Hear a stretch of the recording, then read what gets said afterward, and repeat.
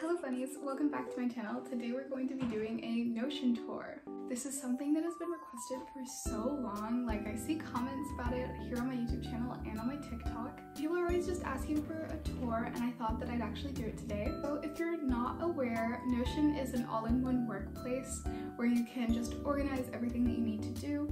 The system is very modular so you can really customize it to whatever you need. And while you can make it look very like cute and aesthetic, it's not really necessary. Hopefully this helps anybody who is trying to make their Notion look anything like mine. So let's get started. So this is my Notion. It took me a really long time to kind of get everything to where I wanted it, but I'm really actually happy with how it looks right now. This is my homepage. So all of the images on my Notion are from Pinterest. I just made a board that had everything that I wanted in it so that it was like more cohesive. It was easier to tell what would look best together. So this image is from Pinterest and so is this GIF. And below here I just have like little tabs to places that I tend to go often just because it's it's more convenient to have them here than to like go over here to get them. And then I have a little set of random notes. Sometimes when I'm doing stuff in school I just need to put down like little notes that don't really fit under these tabs. Then I have a daily slash to do area where I have it split up between morning, after school, and afternoon, and then evening. Just because I feel like that's just what works best for me. Having like a daily list that's not organized just doesn't work well for me and it makes it hard for me to tell what's going on. So I just will put stuff in the check boxes depending on what time of day that I need to do them. Then I have this basic weekly area where I just kind of keep ideas and things that are gonna need to be done throughout the week. It's not usually a very comprehensive list, but it just gives me the basic structure of what my week is gonna be like. But yeah, that's all I have for my main life page, and we can move on. So I have all of these pages that I can use. It might seem like a lot, but I don't use all of these pages every single day. But the next most important one is my monthly one, which I actually haven't updated because it's April. But I will have like monthly goals, which I like suck at updating, and um, important dates. And then I have a monthly calendar, which for April I have like nothing in, but I had a little bit of stuff for last month. I don't really use the March one that much because I try to keep all of my school stuff off of this one and keep it under a different page. But it's important for like important dates and like family events, so that's why I have it.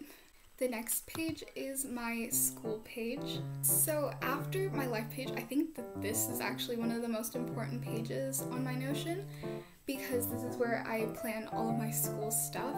As an IB student, there's a lot of requirements that I have to keep track of. So here I have all these notebooks that hold like all of the classes that I've taken in the past couple of years. So I have my IB courses from this year and then I have stuff from previous years. And so I'll just keep notes and I'll keep like tips and like the syllabuses all in each of the notebooks. This calendar is actually a widget that I found online. I looked up a calendar widget and this is the one I found. This is a timer that I got that is super outdated and I really need to fix it because the end of the quarter happened literally over a month ago. But I think it's still cute. And I like to mix in like miniature images and like full-sized images and like GIFs because I think it just adds more variety to the way that it looks.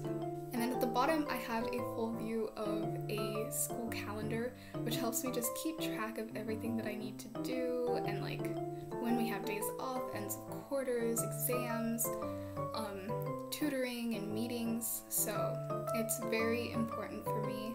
I don't add every single little thing that we're doing, I just add the most important stuff. And I also don't include studying stuff here. So if it's like actually studying, it does not go on this page and it goes on a separate page. I know some people might find it weird that I separate studying from school work, but I just think it's easier to tell what I'm doing and it just helps keep me organized. So that leads us on to the next page, which is my study space page. This is the page where I keep all of my studying stuff. Um, and I just really want to make sure that it works well for me. So I have like a daily agenda and notes area. So as I'm getting ready to study, I make a list of everything that I'm working on and I write notes about certain things.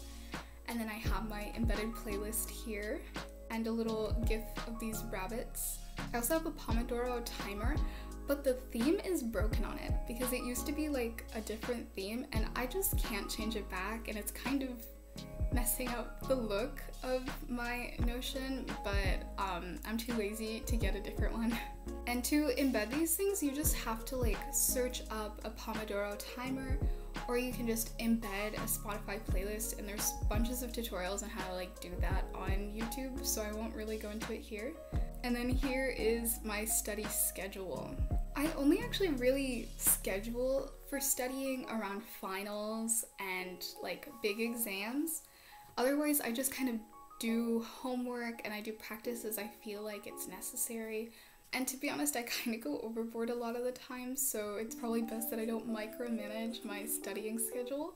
But that's it for my studying space. I try to keep it very minimal because it can be overwhelming to have so much going on when you're just trying to study. But I definitely recommend making one for yourself because it just helps to keep me organized.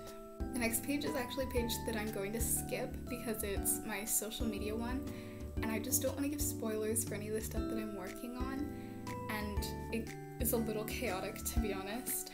But yeah, I just I just have a page where I plan out like when I'm posting on Instagram or TikTok or YouTube and like how to work that out. The next page is called the creativity page. This is where I keep all of the stuff for my like coloring books planned out. I released a coloring book on Amazon back in February and I'm still working on my next one. But I just have some ideas down for what I'm going to release in the future and like a little bit of a structure of like what do I need to do.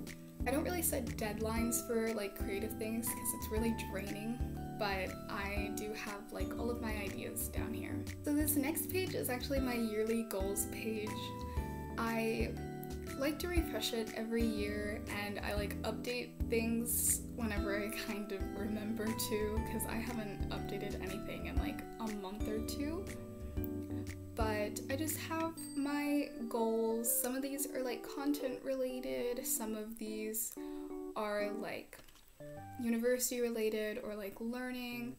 Um, or like this one is to join a club and I did that. But I just I just have certain things that I like decide are gonna be goals for the year and I just add them to this page. I feel like my yearly goals page is one of the most basic ones though because it's just a database. but it, it is nice to have just so you can reference it throughout the year to see how much progress you're making. The next page is my plans for moving abroad.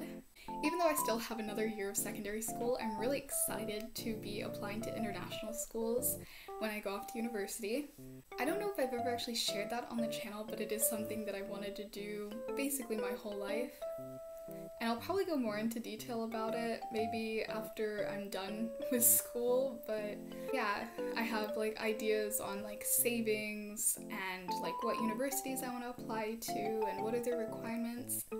I just like to get all my research done now because it'll make my life a lot easier in the future. And then I have this mini wish list page. I like to have this because right around the holidays or around my birthday when people are like, what do you want? It's really hard to think of something in the moment. And so I'll make a wish list here of just things that I'm kind of interested in. Sometimes I'll remove things or add things, but I just I just like to collect certain things onto this list so that I can reference it later. And I love this gift from Studio Ghibli. I just think it looks so pretty on this page and I'm glad that I picked it. And we're almost getting to the end. We've got a recipes idea page. I've been getting really into cooking recently because I'm going to be moving out in a couple of years so I thought I might as well just get a hang of cooking the things that I actually really like to eat and learning how to prepare stuff for myself. So I have all recipes here and I just add an image with everything. There's a, quite a lot of recipes that I was just really interested in and I have them organized based on things that I've not made before which are here and you can just click a tab and I have like drinks and I have like actual food items but things that I've not made before, like on my own or just like personally. And then I have things that I have made before completely on my own. So these are things that I can feel more confident in. And then I have everything organized by meal as well. And some things like these show up multiple times because they're like a snack and a side, but I think that this will make um, moving out a lot easier for me for when I'm having to prepare my own meals more often because I'll have a bunch of ideas. Because even though it works well on Pinterest, because like all of these images are from Pinterest and the recipes, it's easier for me to just go to the database and organize everything more easily and like I will have instructions for the recipes underneath and all the ingredients that I need so I can even just see what can I make with what I have. The second to last page is a video games list page. I feel like it was a little silly for me to make this because I don't actually play a lot of games, but I have a list of games I could try that I found online. But I just have the covers and then what genre they're in, and it just it's cute to have a place for all the list of games that I have. And the final page is a shows and movies list. I've seen that a lot of people on their Notion boards have a page like this and I was not really sure what to do because I was using um, Letterboxd before, I think is the name of the app, to keep track of all of my ratings and what films and shows I'd watched but I decided to just switch to it just because I thought it was better to have everything all in one place. While a lot of it is like anime and like K-dramas, there are other stuff that's not in this list. But overall, I really like having everything all in one place. It just makes it more convenient, especially because I can organize things by to watch, in progress, and watched. So I can really tell what I can continue to watch because I lose track of the shows I'm watching all the time. And I can get more ideas when I'm just going to sit down to watch something and I just have no clue what to watch. That's it for my Notion tour. I really hope you enjoyed. I really had to try out a new way of filming because I'm recording this all on my laptop, so it probably looks like crap. But um, I didn't know exactly how to screen record and deal with like filming because usually I film on my phone but I was like, I don't know if I want to film on my phone and then also like screen record and like deal with all that. So I just decided to try the feature that came with my Chromebook. But yeah, that's it for the video. I hope you enjoyed because I know this was very highly requested. And thank you for watching. Bye!